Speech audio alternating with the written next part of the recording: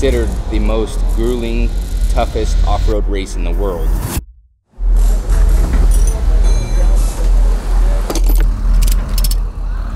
Today our baby is born.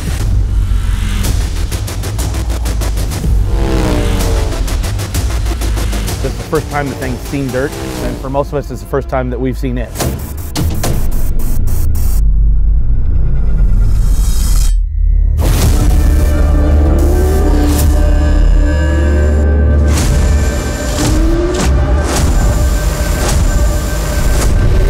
It's going to be not necessarily racing against competitors, it's going to be racing against yourselves.